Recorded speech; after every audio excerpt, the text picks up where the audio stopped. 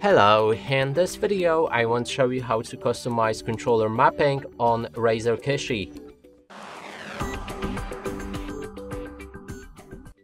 To do this, first we'll need to open our settings, then let's go for General, enter Game Controller.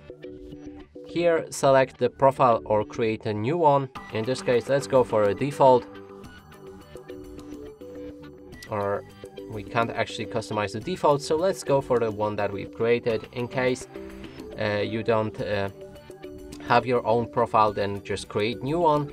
And uh, then we can uh, go for each of the buttons and customize them right here.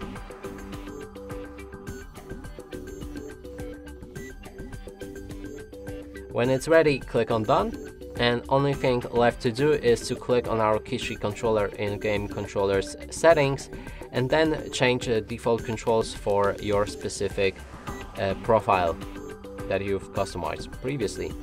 And that's it for this video, hope you like it, please consider subscribing to our channel, leave a like and a comment below.